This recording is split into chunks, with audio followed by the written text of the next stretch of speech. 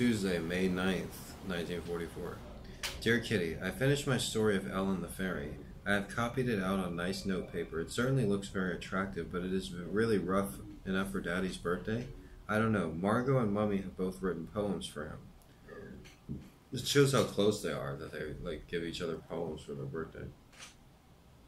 Shit. No, I'm not gonna say that. Mr. Kraler came upstairs this afternoon with the news that Mrs. B, who used to act as a demonstrator for the business, wants to eat her box lunch in the office here at 2 o'clock every afternoon. Think of it, no one can come upstairs anymore. The potatoes cannot be delivered. Ellie can't have lunch. We can't go to the WC. We mustn't move, etc., etc. We thought up the wildest and most varied suggestions to wheedle her away.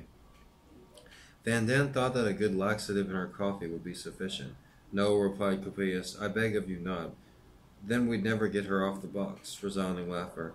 Off the box? asked Mrs. Van Daan. What does that mean? An explanation followed. Can I always use it? She then asked stupidly. Imagine it, Ellie giggled. If one asked for the box in Barkenkorf's, they wouldn't even understand what you mean. Oh, Kit, it's such wonderful weather. If only I could go outdoors. Yours, Anne. That was Thursday, May 9th, 1944.